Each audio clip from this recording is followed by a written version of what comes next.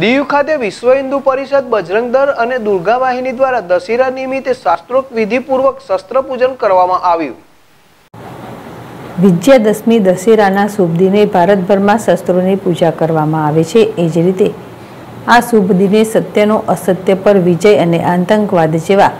અનેક આસુરી તત્વો અને મુશ્કેલીઓ પર ભારતનો ભવ્ય વિજય થાય. તે આશયથી અને ક્ષત્રિય ધર્મનું ઘરેણું એટલે કે શસ્ત્ર દ્વારા ભગવાન શ્રીરામે આજના દિવસે આસુરી શક્તિ સમા રાવણનું વધ કરીને કરેલ હિન્દુ ધર્મની પુરાતન યુગથી ચાલી આવેલ પરંપરા મુજબ દીવ જિલ્લા વિશ્વ હિન્દુ પરિષદ, દીવ જિલ્લા બજરંગ દળ અને દુર્ગા વાહિની દ્વારા દીવના ઝાંપા બહાર હિન્દુ સમાજ સંચાલિત ગૌશાળાની બાજુમાં દીવ નવદુર્ગા ગરબી મિત્ર મંડળ, ઝાંપા ગ્રુપ દ્વારા આયોજિત નવરાત્રિ મહોત્સવ અંતર્ગત સ્થાપિત નવદુર્ગા માતાજીના મંદિરમાં શાસ્ત્રોક્ત વિધિપૂર્વક શાસ્ત્રોનું પૂજન કરવામાં આવ્યું હતું. આ પ્રસંગે દીવ જિલ્લામાં ભારતીય જનતા પાર્ટીના સ્થાપક બાબુભાઈ શાહ, દીવ જિલ્લા ભાજપા પ્રમુખ વિપિનભાઈ શાહ, પ્રદેશ ભાજપા મંત્રી તથા કાઉન્સિલર હિનાબેન રતિલાલ સોલંકી,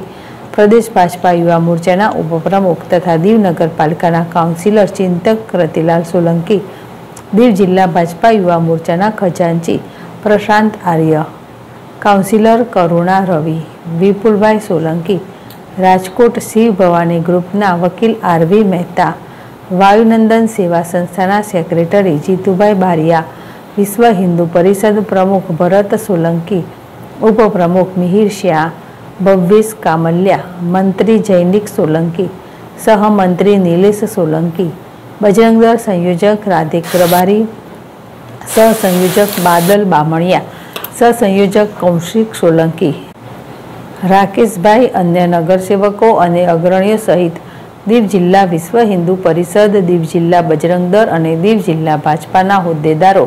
અને બહોળી સંખ્યામાં કાર્યકર્તાઓ સહિત બહોળી સંખ્યામાં સામાન્ય પ્રજા ઉપસ્થિત રહીને શ્રદ્ધાપૂર્વક શસ્ત્રોની પૂજા અર્ચના કરવામાં આવી હતી. આ પ્રસંગે દીવના વિદ્વાન પંડિત વિક્રમભાઈ મહારાજ દ્વારા શાસ્ત્રોક્ત રીતે વિધિ કરવામાં આવેલ. શ્રી રામ મીનાક્ષી ગઢવી જેડેશ ટીવી વિશ્વ હિન્દુ પરિષદ કાર્યકર્તા બજરંગ દળ અને બીજેપીના હોદ્દેદારો જેમાં બીજેપીના જિલ્લા પ્રમુખ બીએમસીના કાઉન્સિલરો કાર્યકર્તાઓ અને સામાન્ય લોકો બધા જ એકત્રિત થઈ અને વિજયાદશમીના પર્વ પર આજે શસ્ત્ર પૂજાનું આયોજન દીવ નવદુર્ગા ઝાપા મંડળની સાનિધ્યમાં રાખેલું હતું જેનું ઉત્સાહપૂર્વક અમે વિધિ વિધાનથી શસ્ત્રપૂજા શસ્ત્ર પૂજા કરી અને લોકો ઘણી સંખ્યામાં ઉપસ્થિત રહેલ. તેનો હું ખૂબ ખૂબ આભાર માનું છું. જય શ્રી રામ.